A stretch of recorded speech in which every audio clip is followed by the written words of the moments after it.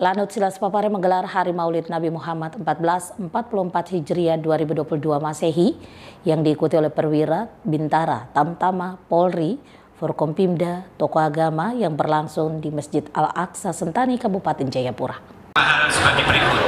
Yang pertama, pelaksanaan peringatan Maulid Nabi Muhammad Komandan Lanut Silas Papare Marsama TNI M. Dadan Gunawan mengatakan di perayaan Maulid Nabi Muhammad di tahun 2022 ini secara khusus bagi TNI Polri harus lebih melayani ahkak Nabi Muhammad sehingga apabila umat muslim yang ada di Kabupaten Jayapura ini telah menjalankan atau meneladani tausiah yang disampaikan oleh Kiai Anwar Sanusi. Dan jika kita menjalankan tugas dan fungsi kita dengan mengutamakan keyakinan dan iman kita, maka pasti semua akan berjalan dengan aman dan lancar karena di dalam kitab agama mana pun selalu mengajarkan umatnya untuk saling bertoleransi antar umat beragama. Sengaja mengundang buat teman-teman sekalian pada uh, peringatan Maulid Nabi yang ke 1444 Hijrah. Sengaja kami datang Pak Kiai dari Jawa. Intinya kami yang ada di Jayapura, Forkopinda, terutama uh, unsur uh, TNI Polri, seperti disampaikan oleh Pak Kiai, kita harus meneladani akhlak Rasulullah terutama bagi umat muslim yang ada di Jayapura ini sehingga apabila kita sudah meneladani apa yang disampaikan uh, Nabi besar Muhammad SAW pasti semuanya akan berjalan dengan aman, lancar Amin. karena beliau adalah Nabi besar yang menyerukan kepada umatnya untuk saling bertoleransi juga di mana pun itu sehingga kedamaian akan pasti akan terjadi tercapai. Mungkin itu saja ya pada kesiangannya terima kasih. Sementara itu Bupati Jayapura Matius Awaitau yang hadir dalam pelaksanaan Maulid Nabi Muhammad di Masjid Al-Aqsa Sentani mengucapkan selamat merayakan Maulid Nabi Muhammad 1444 Hijriah bagi warga masyarakat muslim dan muslimah yang ada di Kabupaten Jayapura. Dirinya juga bersyukur dengan siraman rohani yang telah disampaikan oleh Kiai Anwar Sanusi. Di momen seperti ini memang sangat perlu sekali untuk pemerintah TNI Polri sangat membutuhkan siraman rohani. Hal ini dilakukan agar sebagai umat ciptaan Tuhan tidak melupakan anugerah yang telah Tuhan berikan dalam kehidupan kita. Rakyat Kabupaten Jayapura menyampaikan selamat uh, Maulid Nabi. Kita harapkan uh, kami juga bersyukur Pak Kiai penceramah sudah memberikan nasihat bagi kami semua dan ini sangat berharga. Uh, kita membutuhkan siraman rohani di saat-saat kesibukan kita dan berbagai tantangan.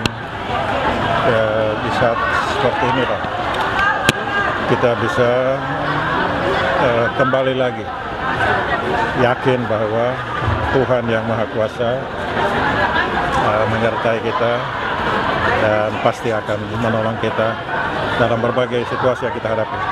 Yang penting hati kita, ya kesungguhan kita, uh, keyakinan kita dan apa yang tadi disampaikan bahwa beberapa hal yang harus dijaga untuk seluruh warga masyarakat sebagai orang-orang yang beriman hanya dengan cara seperti itulah kita bisa menangkal berbagai gejolak, berbagai gangguan apa pun. Saya pikir ini sangat berharga dan semua suka cita, semua ini wah, luar biasa. Suasananya, kekeluarganya sangat bagus dan kita berharap terus akan seperti itu. Hal yang sama juga disampaikan oleh Ketua FKUB Kabupaten Jayapura Pendeta Albert Yoku bahwa apa yang telah disampaikan oleh Kiai Anwar Sanusi dalam ceramahnya mengatakan selain toleransi harus dijaga namun bagaimana menyikapi toleransi itu dengan melaksanakannya di dalam kehidupan kita. Karena di Papua merupakan daerah yang menjunjung tinggi toleransi antar umat beragama. Hal ini yang harus dipertahankan. Sebagai ketua FKB, saya menyampaikan bahwa apa yang disampaikan oleh Kiai eh, Dr. Eh, Anwar Sanusi ini sesuatu yang menurut saya sangat eh, hebat, yaitu bahwa eh, melindungi perbedaan di dalam kehidupan bersama.